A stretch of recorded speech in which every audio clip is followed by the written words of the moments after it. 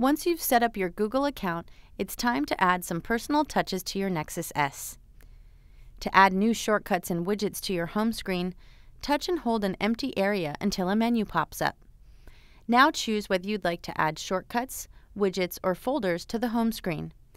I'm going to add the Home Screen Tips widget to learn more about this. When I'm done with my little Android helper, I can touch and hold it until the trash icon shows up at the bottom of the screen. Just long press, then drag and drop to remove items from the home screen. You can also drag application shortcuts directly onto your home screen by opening the launcher, then touching and holding an icon and dragging it to the spot you want on your home screen. To access other panels of the home screen, simply swipe to the right or left. You can also touch one of the dots in the bottom corners of the screen to jump to a specific panel. Press Home to return to the center.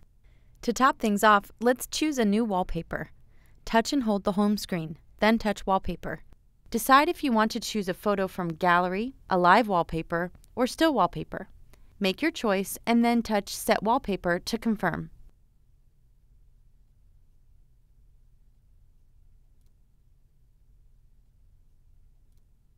You now know everything you need to customize your home screen.